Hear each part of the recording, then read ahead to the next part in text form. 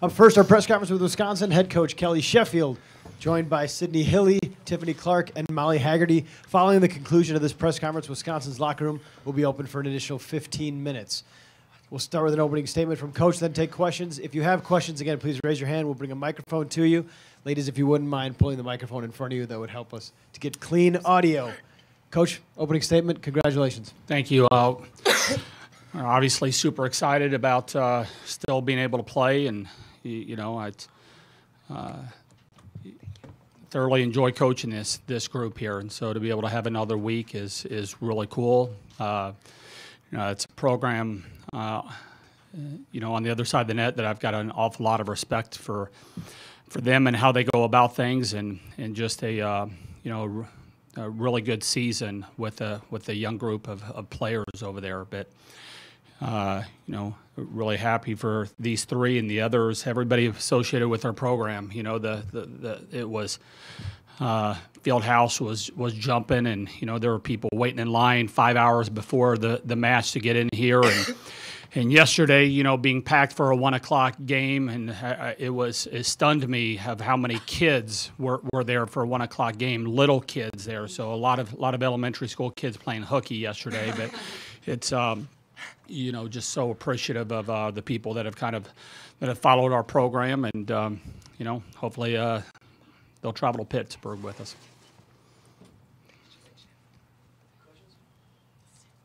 As for the players, was that the feeling at the end out on the court and down in that locker room, everything you might have imagined over your years here? You haven't gotten to this point?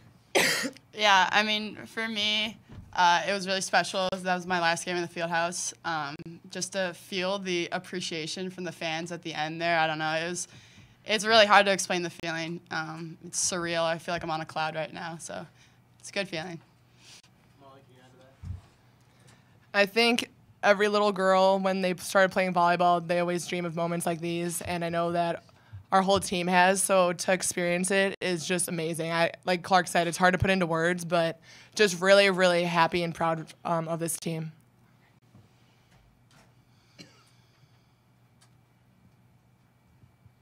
Coach, it's cliche. It's hard to be a team three times in a year.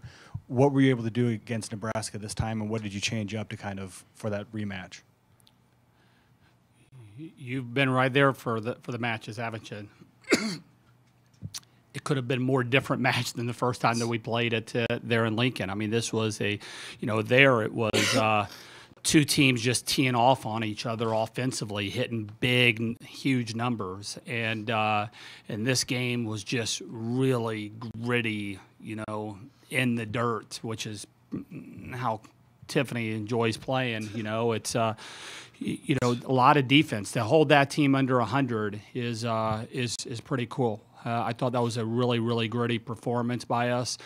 Third set, it wasn't the cleanest thing in the world. You know, I, we gave a lot of points away behind the service line. We we messed up a, a free ball or, or two. Uh, but the thing that I liked about our, our group in that situation, you're up 2-0 and those types of things are, are happening you can get really, really tight, really tense. You can start playing not to make errors. You can start panicking. There wasn't any of that stuff from our group, and that was that's that's hard. That's a difficult thing. I just I thought the mental toughness to just continue to grind, continue to find ways to uh, to side out was uh, what was pretty cool. Uh, Sid, when you do you get a sense early on that it's going to be that kind of a match that you're going to have to maybe play things differently, or what? Were, how does that affect what you do in, in your job? Yeah, I mean, in the tournament, I expect every match to be like that. I expect it to just be a battle um, for both teams, and we know Nebraska's a great team, and you can never count them out in the tournament because they're always so good. Um, but yeah, that, that was really fun, and that's all credit to my blockers and my defenders there. They did amazing. Uh, my O line, um, but yeah, uh, that was just a great game to play. It was really fun.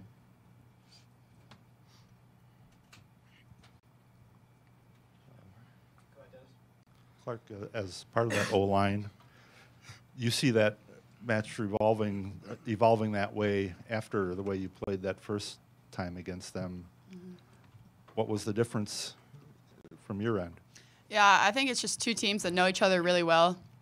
Um, we knew going into this match that they're gonna what they're gonna try to do offensively, and know they're gonna try to tee off of, on our blockers. So um, I thought our defensive players were making really good moves, really good reads. Uh, blockers were making great moves there. Um, kind of just have that, like Kelly said, in the dirt mentality. That's the those are the best games to be a part of because it's all defense. Um, I thought both teams played really good defense on both sides of the court. So yeah, it was just fun game to be a part of.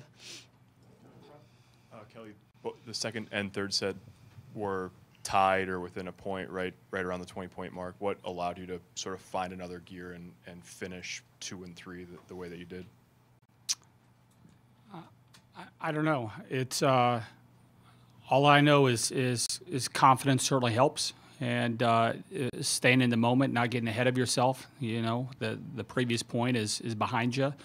Uh, these guys have worked hard to be able to develop that type of mentality. That certainly wasn't something that uh, that came easily uh, for this group. It's uh, you know you want something so bad, and when you make an error in those big moments, it, it, you know when you're wanting something, it can it can stay with you a, a little bit, or you could try to do too much. And um, you know this this group has put in the work and and um, you, you know there's a calmness about them there's a um, you know we've got some really good leadership and it's just about making them play making the, the next play. And then you, you make one play can you can you do it again? And can you just stack those things on top of each other? And a lot of times that comes with experience. And this happens to be a pretty experienced group uh, that we've got right now.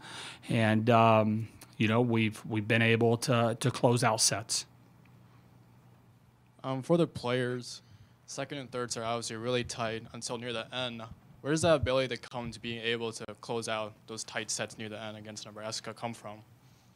Um, I think we're just a mature group. Um, Sydney said before the third set um, that this was going to go really tight. This was going to be in the red zone, like 22 22. We're going to have a tight match. And she was exactly right. Um, I think when we get to those moments, that that's where we thrive. Uh, we love being in those moments because we practice those all the times.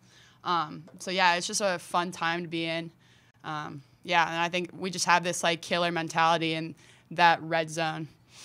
Every day in practice, when we're competing, we practice whether it's 22, 22, 23, 23. We uh, practice against these type of games, and I think just having that confidence and knowing uh, what it's like to be in those situations really helps. Just because we're confident when we're in there.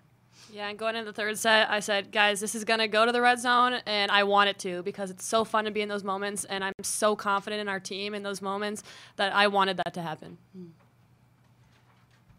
Coach, how did the experience against Nebraska come into play this game? Uh, the previous experience, you know, it's uh, it- was a fast turnaround from uh, from last night. So you, you know, there was a little bit of familiarity of what you're going to see. You know, probably on both sides of the net, um, and then it's just about going out there and executing. You know, I, I don't think there was a uh, you know, we know what they were trying to do. They they know what we're kind of trying to do, and you just you go out there and do your job. And uh, you know, our, our, our message with with them going out was was simple. You know, have fun. You know, enjoy. And uh, sometimes you can be around so tight that you, forget that. And uh, this uh, to be able to play in front of over 7,000 fans that are on their feet most of the night, and for the opportunity to go into the Final Four, um, you know, I, I heard uh, from just about every alum that has been here in my time here in the past few days. And the same message was over and over and over again is make sure that you're enjoying this moment. I, I look back at, at my time there you know in those big matches and sometimes i was so competitive and trying to it was so important to win that i'm not sure i was enjoying it as much as what i, I could have should have.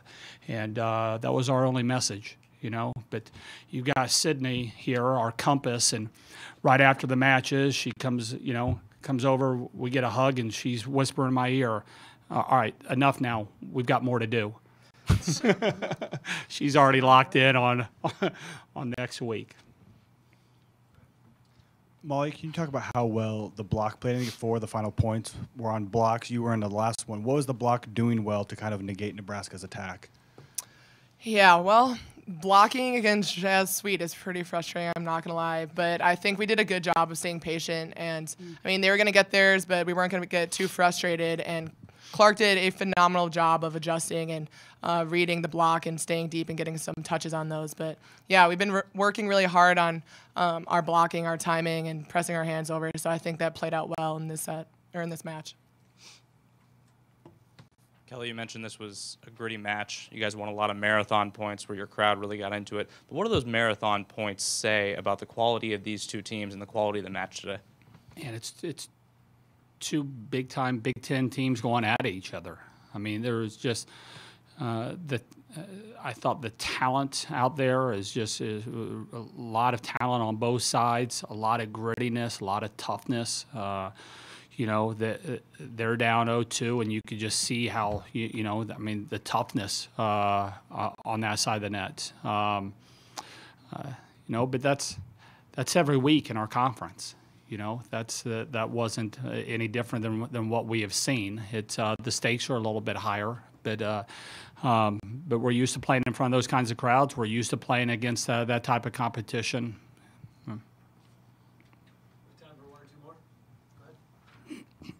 Coach, speak to how uh, you're going to be preparing uh, this group versus how you were preparing the, the group from 2013 um, when you guys were in Seattle last. Barely remember 2013. It's um, uh, you know it's. Uh, uh, this team has probably been through the battles a little bit more than maybe that that team was. I think that team was kind of the, um, you know, the underdog Rocky story, you know, or Hoosiers, you know, uh, you pick whatever that you, you want to go with. And, uh, you know, I think this this team, that team learned to, to have confidence. This, you know, I know there's a lot of people that are talking about us having a four and four start, but this this team never lacked confidence or belief in themselves. It uh, it was just a matter about getting getting better, and uh, you know, they're we'll we'll figure out what we've got to do here sometime over the next couple days, and um, uh, probably not going to worry too much about that this evening. What was your game plan to slow down Nebraska's middles? I think they had five combined kills and just three from Stivrins. What did you do well to take Nebraska's middles out of the match? I don't know. it's, uh, um, you know, I think part of it starts with serving. Does. I think the other part of it is is that Jazz was having a really, really nice offensive match early on. Her numbers probably dropped a little bit there toward the end, but she was so hot that they were tr- pumping the ball to her uh, instead of maybe going to some of uh, some of the middles. But I think it was probably a combination of, of both of those. Uh, we got some nice touches, and we're really kind of uh, grinding in the in the back court. Um, but it was it was probably a combination of all those. Congrats, Wisconsin. One other thing I'd like to say real quick here is that it, it, how often in one room do you get people from Nebraska, Wisconsin, and Hawaii all here? And these are the, you know, what the, the media does uh, in those three markets for our sport is amazing, and incredible, and uh, a sincere thank you for everything that you guys are doing to bring this sport uh, uh the, the way that you're covering it. So thank you. Good luck doing more epic things.